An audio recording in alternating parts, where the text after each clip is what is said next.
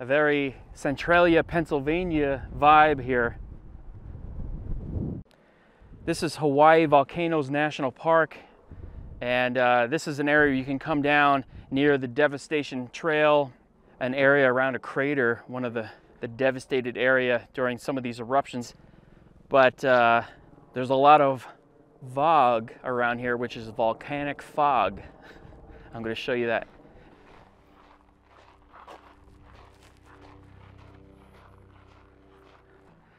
Look at this crater. Man, that is cool.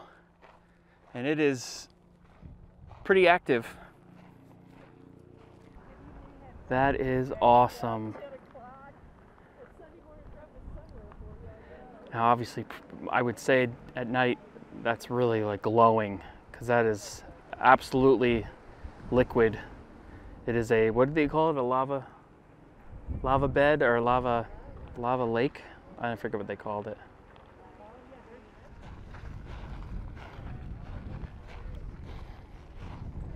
I had to come back at night. I had to show you what this looks like. So this is a little bit uh, out of sync for the video. So I'm going to show you now at sunset or just after sunset how amazing it looks here. I guess you call it a lava lake. I don't know. 我想象的让我非常惊叹，就是一方呃直径一百米， Wow.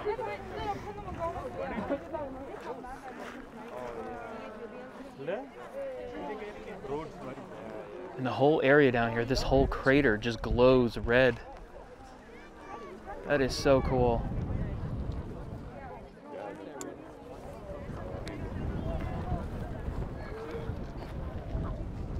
I want to show you the crowd here. There's at least 100 people here, maybe more, but for good reason.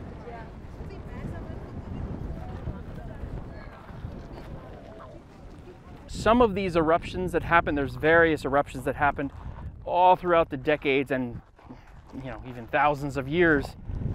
But um, there's interesting maps that see like where different flows happened, lava flows happened. Uh, some lasting a few weeks, some lasting years. So this whole area was basically uh, I would say, closed down in July of 1974 after an intense fissure eruption happened. It was about three days that it kind of all this lava flowed over the road, covered this whole area, covered uh, about 760 acres. I'll show you, there, there's an interesting area on the other side where the lava flowed down here and then down into uh, I guess there's another crater over here. About 12 miles an hour was flowing down. So this crater was formed somewhere between the 1500s and 1700s. And once that was over and done with, there was actually a quarry down here. The Hawaiians used to uh, mine the, the hard rock out of there and make tools out of it and everything. And then in 1877, there was another small lava flow that came in here and covered that all up, filled up, I don't know, a few stories of, uh, of lava. So that was the end of their quarry. And then, of course, in 1974, that's where the lava flowed down into it, put another 15 feet of lava in there. Look at this, you can get right in here. There's another area I want to show you. Now I read online that this is closed for repairs, but I mean, you can kind of tell by the condition of the area that I, I don't know if there's going to be anything. I don't. I don't know if they're going to be reopening this road. Very, very Centralia vibe here. If you don't know what that is, it was a town in Pennsylvania, an anthracite mining town. All the mines were underneath the town. A fire started in the 1960s underground into some way, in some shape or form, it's still burning to this day. They were never able to put it out. And uh, the town is completely gone, really. I mean, there's just a couple buildings and a graveyard that's left. Uh, basically, in the 80s, most of that town had been torn down because of all the fissures and the steam vents that would open up and cave ins in the ground. Uh, I made a video about that. I'll put a link down below.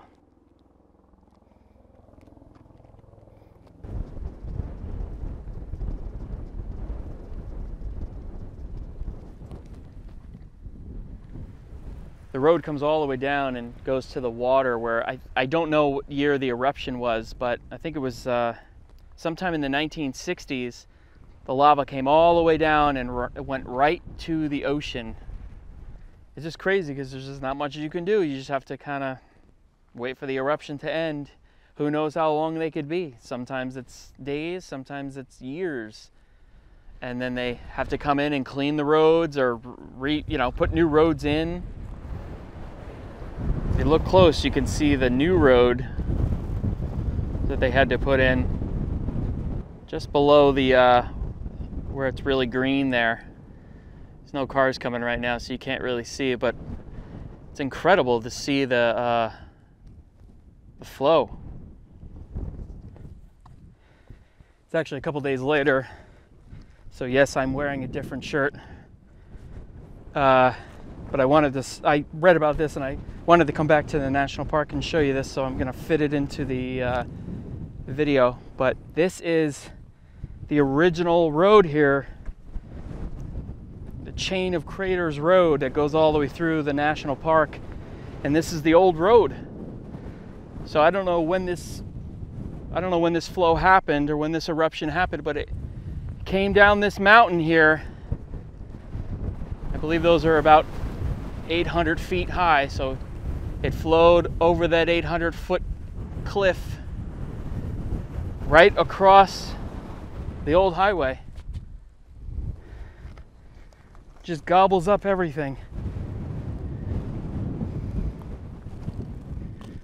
As far as the eye can see lava. Tell you what, absolutely devastating, of course, but at the same time, so interesting to see. Um, just even the different textures and the different patterns. And other sections that kept going all the way to the ocean, which is about a mile, maybe actually, that's probably a couple miles to be honest with you but it went all the way to the ocean.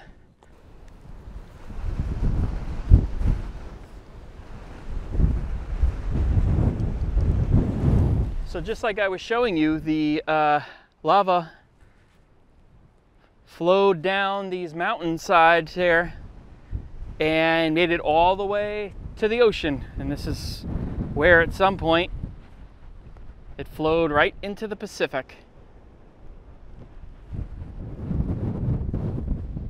And that must have been amazing to see. Especially at night. Probably like a glowing red just falling into the ocean, steaming.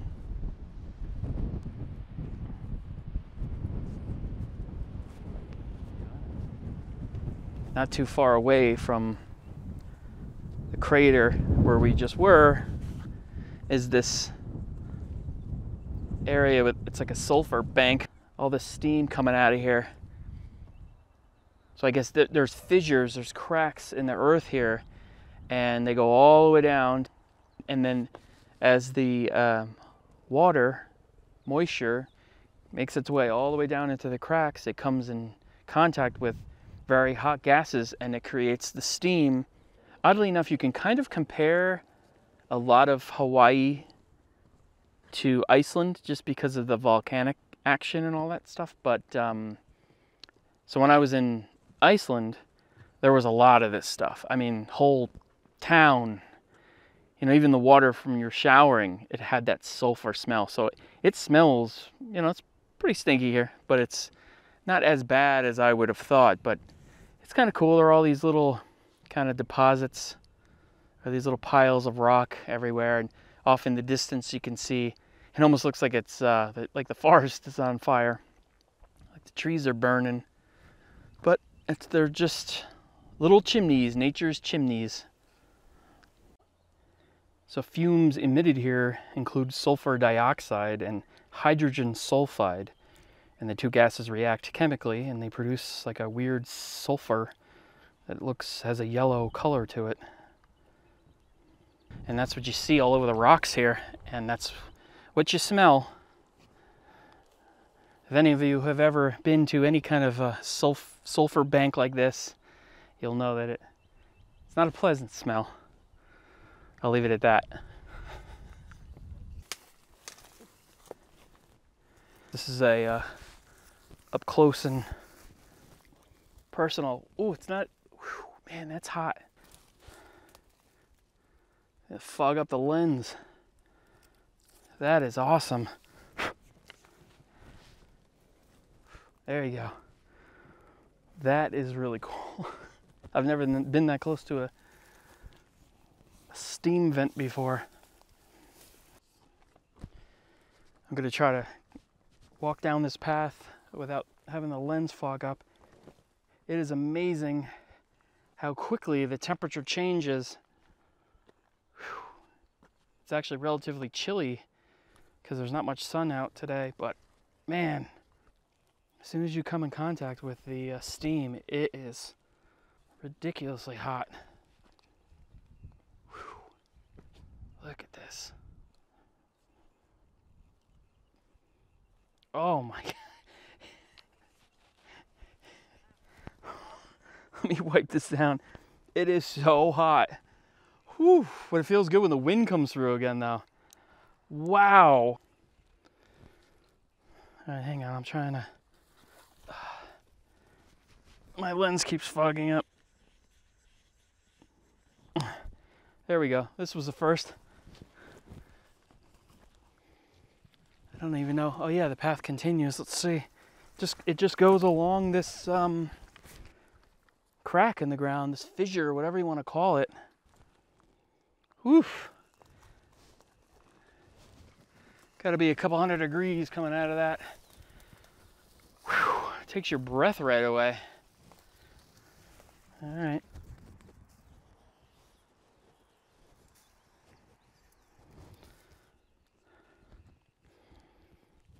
Course, being very careful here.